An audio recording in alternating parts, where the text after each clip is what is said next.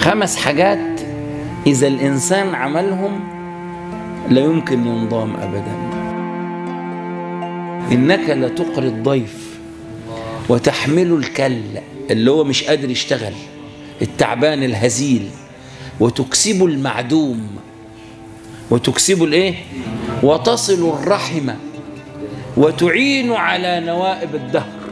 رجل من المستشرقين لما قرأ هذا الكلام قال امرأة تعيش مع رجل خمس عشر عاما فتقول في مثل هذه الكمالات أشهد أنه نبي.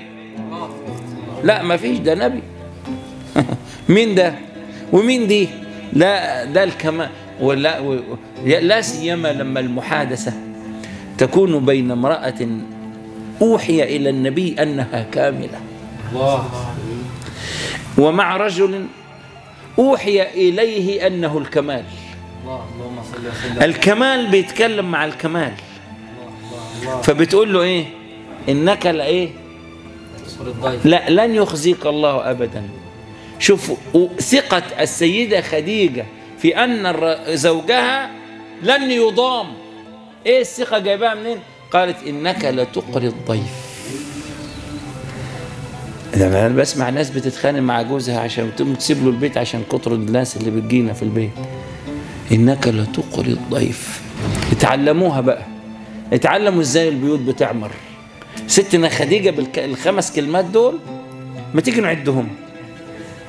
والله لن يخزيك الله أبدا.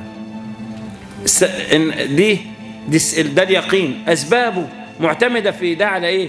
إنك لتقري الضيف. وتحمل الكلب. وتكسب الموعدون. وتصل الرحم. وتعين على نوائب الدهر خمسة. خمس حاجات إذا الإنسان عملهم لا يمكن ينضام أبدا. عرفتي عمار البيت بيجي منين؟ من كرم الضيافة من العطف على اللي مش قادر.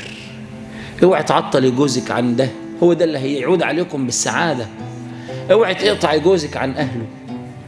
اوعى تقطع مراتك عن أهلها. شفتوا ستنا خديجة في في خمس كلمات رسمت لكل زوجة. ها؟ معايير اختيار الزوج اللي يسعدها.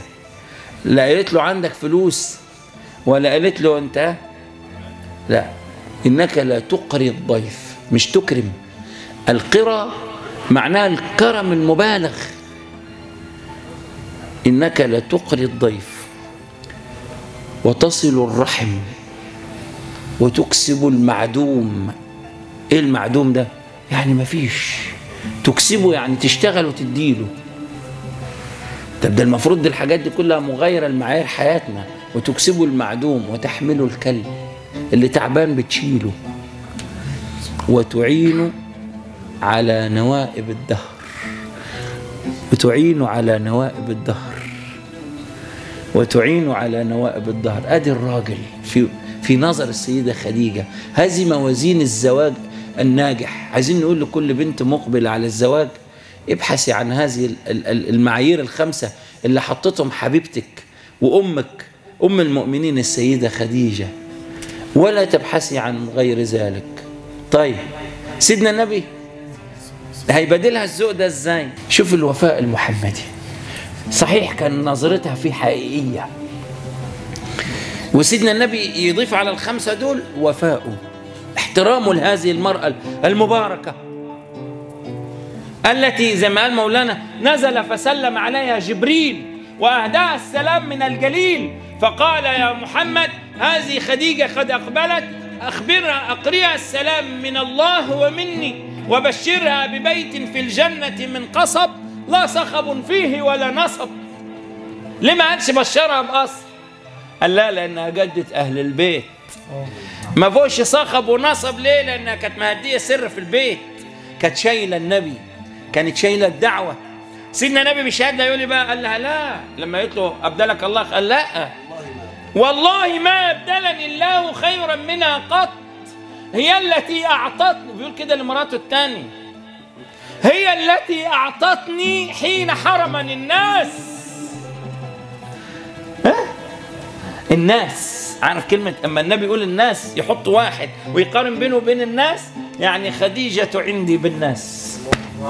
باختصار مهما تغيرت الأحداث فخديجة عندي بالناس. هي التي أعطتني حين حرمني الناس.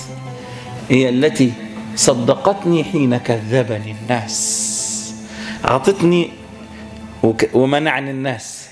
صدقتني وحرمني الناس. إيه النتيجة؟ ما أبدلني الله خيرا منها قط. هذه معايير السعادات الزوجية. هذا هو الوفاء المحمدي وعدم نكرانه للجميل. وهذا هو الرقي والتسامي. ها؟ بمساعدة الزوج لإقامة لئلا يضيع حقه مع الله ويضيع حظه بالله. وأنها تثق ثقة مطلقة أن معيار سعادتها أن ذلك الرجل معطاء لأهله. معيار سعادتها أن ذلك الرجل جواد على الضيوف. هي فاهمة كده؟ ولسه الإسلام لسه بيبدأ. إذا هي كريمة. هي مصطفاة للنبي كزوجة. خدوا بالكم يا اخوانا ما نحن نحتاج لترداد مثل هذه السير المباركة علشان بيوتنا تنصلح. علشان ولادنا يتعلموا علشان يعني كوارث الطلاق التي تحدث ليل نهار في الشوارع وفي البيوت من غير وجوه حق.